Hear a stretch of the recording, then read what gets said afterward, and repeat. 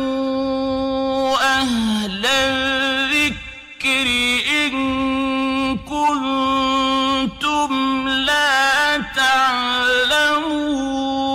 تعلمون আসসালামু আলাইকুম রহমতুল্লাহি বারাকাত একজন দিনীবন জানতে চেয়েছেন তার বাচ্চার আহ, সমস্যার কথা বলেছেন যে রাতে বাচ্চা ভয় করে ঘুম থেকে উঠে কান্না করে ভয় ভয় করে ইত্যাদি আহ, প্রথমেই দোয়া করি আল্লাহ আপনার বাচ্চাকে হেফাজত করুক আল্লাহ তাকে সুস্থ করুক যাবতীয় সমস্যাকে দূর করে দিক আল্লাহ আমিন।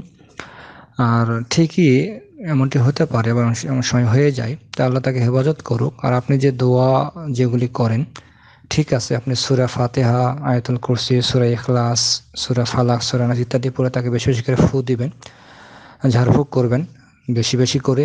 আল্লাহর কাছে দোয়াও করবেন, সেই সাথে ঝাড়ফুঁক করবেন এবং সেই সাথে সকাল সন্ধ্যায় তার মাথায় বা কপালে হাত রেখে একটি দোয়া, এই দোয়াটি বেশ করে পড়বেন। ও আইজুকা বিকালিমাতিল্লাহি তাম্মাতি মিনকুল্লি শাইতানিন ও হাম্মাতিন ও মিনকুল্লি আইনিন লাম্মাতিন। এই দোয়াটি বেশি বেশি সকাল সন্ধ্যায় তার মাথায় কপালে হাত রেখে দোয়াটি পড়বেন। রাসুল সাল্লাহ এই দোয়াটি পড়তেন, তার দৈনাতে হাসান হাসান কপালে হাত রেখে দোয়াটি পড়তেন। আপনি সে আমলটি করবেন, এতে যাবতীয় শয়তানের অনিষ্ঠ ক্ষতিকারক বিষয় থেকে, হিংসুক চোখ থেকে জাদুটনা থেকে থেকে আল্লাহ তাকে হেফাজত করবে ইনশাআল্লাহ। এই আমলগুলি করবেন, আল্লাহ তাকে সুস্থ করবেন ইনশাআল্লাহ।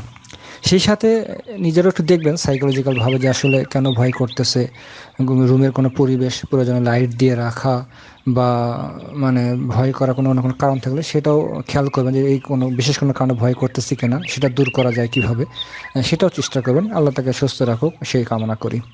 আসসালামু আলাইকুম রহমতুল্লাহি ওবরাকাত هادي حينما رددت يا رب العين.